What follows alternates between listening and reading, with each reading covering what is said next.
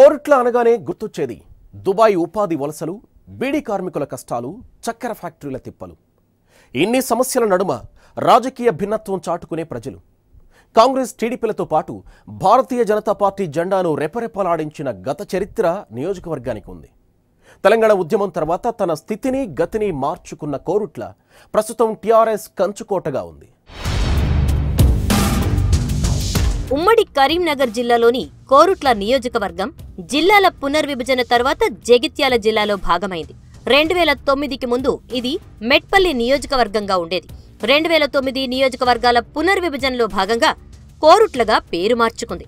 మొత్తం ఓటర్లు రెండు లక్షల పద్నాలుగు వేల మూడు వందల అరవై ఐదు మంది కాగా వీరిలో పురుషులు ఒక లక్ష ఐదు వేల ఐదు వందల పదిహేను మంది.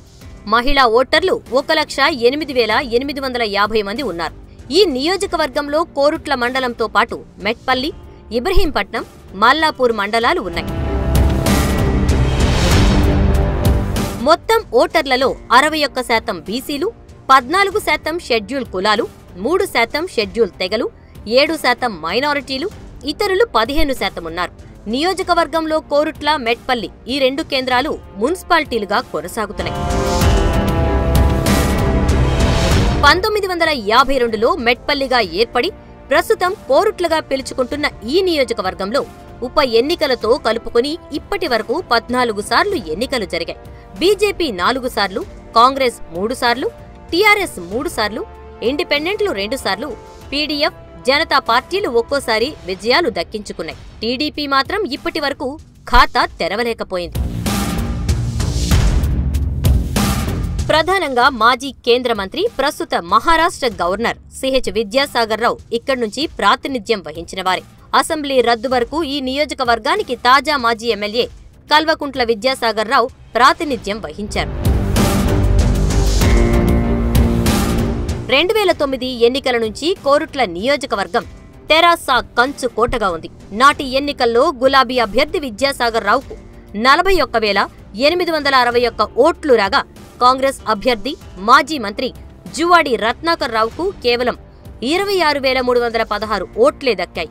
పీఆర్పీ నుంచి పోటీ చేసిన జంగిలి సునీత వెంకట్కు ఇరవై వేల ఆరు వందల ఎనభై ఓట్లు పోలయ్యాయి. ఫలితంగా మొదటిసారి తెరాస అభ్యర్థి విద్యాసాగర్ రావు పదిహేను వేల ఐదు వందల నలభై ఐదు ఓట్ల మెజారిటీతో అసెంబ్లీలో అడుగుపెట్టారు.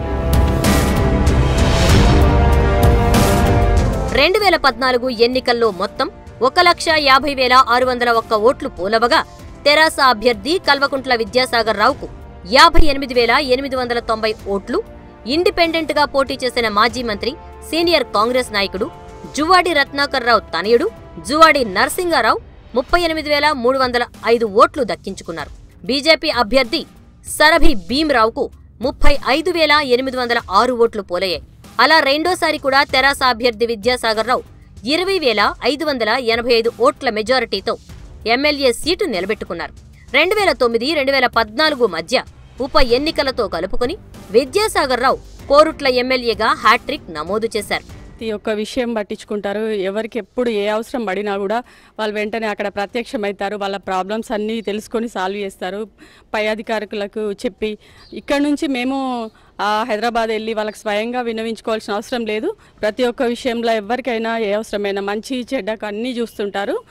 ప్రతి నెల కప్- కంపల్సరీగా సందర్శన చేస్తారు ప్రతి ఒక్క వార్డు. నెల కూడా అవసరం లేదు. మధ్యలో అవసరం పడినా కూడా ఎప్పుడు అవసరం పడినా కూడా అప్పుడు వచ్చి ప్రతి విషయం తెలుసుకుంటారు. ఎక్కడ ఏ ప్రాబ్లం ఉన్నా ఆ ప్రాబ్లం సాల్వ్ చేస్తూ ఉంటారు.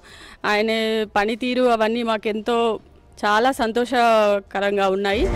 సొంత రాష్ట్రంలో కోరుకున్న స్థాయిలో అభివృద్ధి కాలేకపోయామన్న ఆవేదన కోరుట్ల ఓటర్లలో స్పష్టంగా కనిపిస్తోంది. అన్ని నియోజకవర్గాలకు ఇచ్చినట్లుగానే పథకాలు దక్కాయి గాని స్థానికంగా ఉన్న దీర్ఘకాలిక సమస్యలపై తెరాస సర్కార్ నాలుగున్నరేళ్ళలో దృష్టి పెట్టలేదన్న అసంతృప్తి అలానే ఉంది. రెండు వేల పద్నాలుగు నుంచి తెరాస పాలన జరిగిన నాలుగున్నరేళ్ళలో ప్రజలు కోరుకున్న స్థాయి అభివృద్ధి కోరుట్లలో కనిపించదు. ఆ అసంతృప్తి స్థానికుల్లో ఉంది. ప్రభుత్వ పథకాల అమలు విషయంలో తప్ప ప్రత్యేక నిధులు ప్రత్యేక అభివృద్ధి జాడలు లేవు. ప్రధాన సమస్యల పరిష్కారంలో జాప్యం ఎన్నికల హామీల అమల్లో వెనకబాటు భావన ప్రజల్లో ఉంది. వ్యక్తిగత పథకాలైన రైతుల సంక్షేమ పథకాలు పేదలు బీడీ కార్మికుల పెన్షన్లు గల్ఫ్ బాధితులకు సంబంధించిన సమస్యలపై చొరవ లాంటివి తాజా మాజీకి ప్లస్ అవుతున్నాయి. గ్రామీణ రోడ్లపై ప్రత్యేక శ్రద్ధ కనబరిచారనేది స్థానికుల అభిప్రాయం. అతిగా బీడీ కార్మికుల పింఛన్లు వచ్చింది మా గ్రామమే. దాదాపు నెలకు పది లక్షల వితాంత పింఛన్లతో బీడీ పింఛన్లతో పది లక్షల రూపాయలు అవడం జరుగుతుంది. మరియు ప్రతి ఇంటింటికి రేషన్ కార్డు బియ్యం ఇట్లా బియ్యం లేని వ్యక్తిగా లేరు. మా మా మా కోరికల మేరకు సార్ రోడ్లు అధ్వానంగా ఉన్నాయంటే మాకు రోడ్లు ఇవ్వడం జరిగింది. దానివల్ల మేము చాలా అభివృద్ధి పొందినాం. అది మా మా గ్రామ ప్రజలందరూ గుర్తుంచుకునే ఒక అద్భుతమైన పనిచేసాడు నియోజకవర్గానికి వెల్లువెత్తిన నిధుల వివరాలు ఓసారి పరిశీలిస్తే ఆర్ఎండ్బి శాఖ ద్వారా రోడ్లకు తొంభై ఆరు కోట్లు హై లెవెల్ బ్రిడ్జిలకు ఇరవై ఎనిమిది పాయింట్ ఐదు కోట్లు నేషనల్ హైవే పనులకు ఇరవై కోట్లు వట్టివాగు బ్రిడ్జికి ఐదు కోట్లు వెరసి మొత్తంగా నూట యాభై కోట్ల రూపాయలు విడుదలయ్యాయి. మిషన్ కాకతీయకు యాభై ఒకటి పాయింట్ ఐదు సున్నా కోట్లు విద్యుత్ శాఖకు ముప్పై ఒక్క కోట్లు మిషన్ భగీరథకు యాభై ఐదు కోట్లు వరల్డ్ బ్యాంక్ నిధులు రెండు వందల యాభై నాలుగు కోట్లు. వాటర్ గ్రిడ్ ఐదు వందల అరవై కోట్లు మార్కెటింగ్ శాఖకు పదిహేను కోట్లు పంచాయతీరాజ్ శాఖ నిధులు నూట ఇరవై కోట్లు విద్యా శాఖకు ఇరవై ఐదు కోట్లు. రివర్స్ పంపింగ్ కోసం వెయ్యి కోట్ల నిధులు కేటాయించినప్పటికీ వాటిల్లో కేవలం యాభై శాతం నిధులు మాత్రమే మంజూరయ్యాయి అనే టాక్ ఉంది.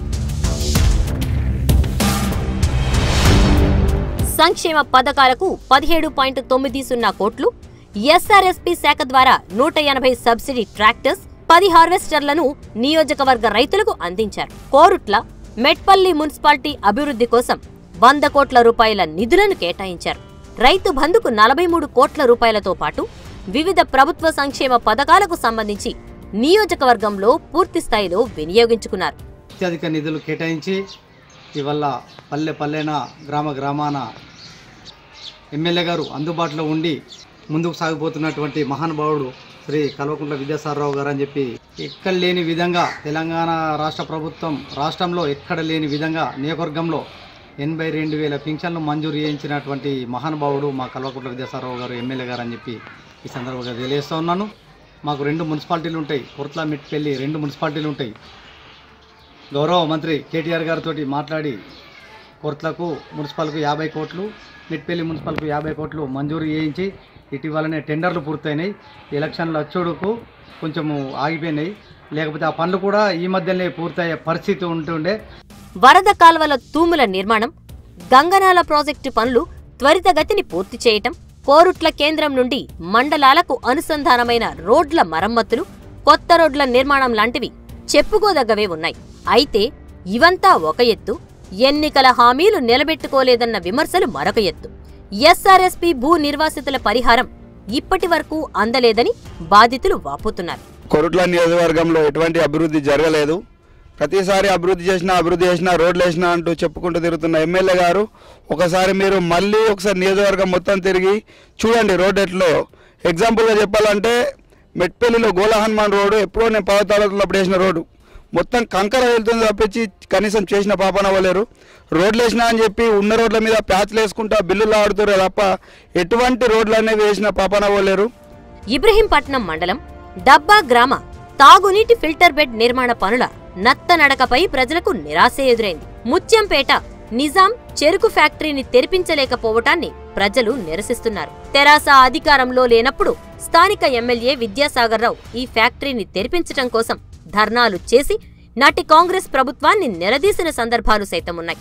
అలాంటి ఆయన ప్రాతినిధ్యం వహిస్తున్న పార్టీ అధికారంలో ఉన్న నాలుగున్నరేళ్ళలో చెరుకు ఫ్యాక్టరీని తెరిపించటానికి చొరవ తీసుకోకపోవటాన్ని కోరుట్ల వాసులు జీర్ణించుకోలేకపోతున్నారు. ఫ్యాక్టరీ పరిధిలో దాదాపు మేము ఇక్కడ నూరు నూట ఇరవై గ్రామాలలో మేము చెరుకు పండించి ప్రధాన పంట చెరుకు పండించి మేము జీవనాధారం చేసుకునే రైతులం. మాకు ఇక్కడ గత మూడు సంవత్సరాల నుండి ఫ్యాక్టరీ లేవ ప్రకటించి రైతుల నోట్లే అదేవిధంగా కార్మికుల నోట్లే ఈ ప్రభుత్వం మట్టి కొట్టింది మేము ఇక్కడ రైతులం మీటింగ్ పెట్టి ఎమ్మెల్యే గారిని పిలిచి ఏం సంగతి అంటే మీరు చెరుకు పెట్టుండి చెరుకు గిట్లా ఫ్యాక్టరీ నడకుంటే నేను అవసరమైతే ఫ్యాక్టరీ గేటు ముందే ఉరివేసుకుంటా లేకుంటే చెరుకు తీసుకొచ్చిన ఇంటి ముంగట వాడేయండి నడిపించే బాధ్యత నాదే అని చెప్పి మాకు గత రెండున్నర మూడు సంవత్సరాల క్రితం మాట ఇచ్చి ఇంతవరకు కూడా అది మేము అడిగితే మమ్మల్ని లాఠీ దెబ్బలతో కొట్టించుడు. ఏదైనా గ్రామాలలో మేము నిరసన వ్యక్తం చేస్తే మా జోయినపల్లి కురుట్ల మండలం జోయినపల్లి రైతుల మీద కేసులు పెట్టించుడు. మేము రోడ్ ఎక్కితే మా మీద కేసులు పెట్టించుడు. ముందే పోలీసులతో బెదిరించుడు. ఇక్కడ ప్రజాప్రతినిధులు వస్తే మమ్మల్ని చెరుకు రైతు నాయకులను గ్రామాలలో లేకుండా చేసుడు ముందే అరెస్టులు చేసుడు. ఈ విధంగా ప్రభుత్వం చేస్తుంది. కోరుట్ల నియోజకవర్గానికి పద్నాలుగు వందల డబుల్ బెడ్రూమ్ ఇళ్ళు మంజూరైనప్పటికీ చాలా వరకు ఇంకా నిర్మాణ దశలోనే ఉన్నాయి. దళిత మూడెకరాలు ఇంటింటికి చేరని మిషన్ భగీరథ నీరు నియోజకవర్గంలో నెరవేరని హామీలు ఉన్నాయి. ఇట్లా నియోజకవర్గంలో జరుగుతున్న అభివృద్ధి పరిస్థితి చూస్తే. రవ్వంతా కూడా లేదని మేము చెప్తున్నాం. ఫిల్టర్ బెడ్ తర్వాత కొరతలైన ఫిల్టర్ బెడ్ చెప్తే ఇప్పటికీ ఈయన వచ్చిన తర్వాత అక్కడ డబ్బాల వాటర్ ఫిల్టర్ బెడ్ అని చెప్పిండు. దాని మీద ఒక సంవత్సరం మొత్తం ఆ గ్రామస్తులు ఈ గ్రామస్తుల మధ్య లొల్లిక సంవత్సరం జరిగిపోయింది. తర్వాత అది టెండర్ అయినా కూడా ఇక్కడ తెలంగాణ కాంట్రాక్టర్ లేనట్టు ఆంధ్ర కాంట్రాక్టర్ టెండర్ ఇచ్చిండు. మళ్ళీ దాంట్లో వీళ్ళ బినామీలు పెట్టుకొని చేస్తుండ్రు ఇంతవరకు కూడా అక్కడ పనులు ముందుకు సాధించలేదు ఎక్కడ ఒక పైప్ లైన్ వేసింది లేదు. ఏ ఇంటికి నీళ్ళు వచ్చింది లేదు. ఇంటింటికి నీళ్ళు రాకపోతే మేము ఓట్లే అడగమన్నారు ప్రజాకూటమి నుంచి ఇంకా కోరుట్ల అభ్యర్థి అధికారికంగా ఖరారు కాకపోవడంతో ప్రచారంలో తెరాస దూసుకుపోతోంది. గత వైభవం కోసం బీజేపీ కాంగ్రెస్లు సైతం గట్టిగానే పోటీ పడుతున్నాయి. కేసీఆర్ ఆదేశాలతో తాజా మాజీ ఎమ్మెల్యే విద్యాసాగర్ రావు ప్రచారంలో ముందుకు పోతున్నారు.